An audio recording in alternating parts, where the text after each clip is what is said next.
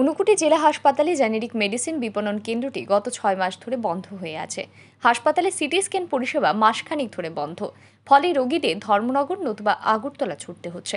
জরুরি ভিত্তিতে এটি চালু করে রোগীদের পরিষেবা দেওয়ার ব্যবস্থা করা। হাসপাতালে সনোগ্রাফি মেশিন থাকা সত্ত্বেও কেবলমাত্র গর্ভবতী মহিলাদের পরীক্ষা ব্যতীত অন্য কোনো ধরনের সনোগ্রাফি পরীক্ষা হাসপাতালে হচ্ছে না। তাই সব ধরনের পরীক্ষার ব্যবস্থা করা, হাসপাতালে একটা অ্যাম্বুলেন্সের ব্যবস্থা করা এবং পর্যাপ্ত বিদ্যুতের ব্যবস্থা করার দাবি জানান তারা। স্মারকলিপি প্রদান শেষে জেলা শাসক বর্তমান সমস্যাগুলো নিয়ে সংশ্লিষ্ট দপ্তর আধিকারিকদের সাথে কথা বলে দ্রুত ব্যবস্থা নেওয়ার আদেশ দেন। কিছু দাবি, যেটা আমাদের মনে হয়েছে আমরা এই দাবিগুলো নিয়ে সোচার হওয়া।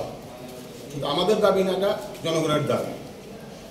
এবং এই সময় দেখেছি আমাদের কৈলাসহরের মতো নুনগুটি যে আমাদের ডিস্ট্রিক্ট হসপিটাল আছে, সেই ডিস্ট্রিক্ট হসপিটালে অনেকগুলো দাবি।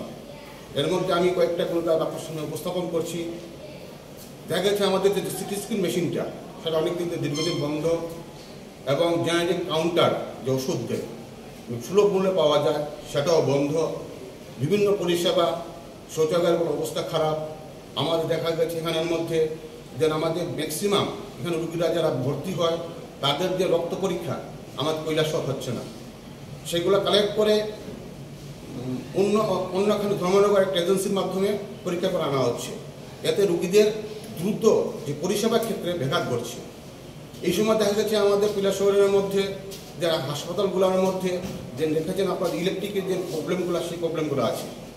এবং আপনার যে কৈলাসের মধ্যে বিদ্যুৎ যে আমাদের পরিষেবা দেখেছেন আমাদের সাই কোম্পানি নেওয়ার পর কৈলাসের পরি- পরিষেবা তলানিতে চলে গেছে। ব্যুরো রিপোর্ট, আর ই নিউজ।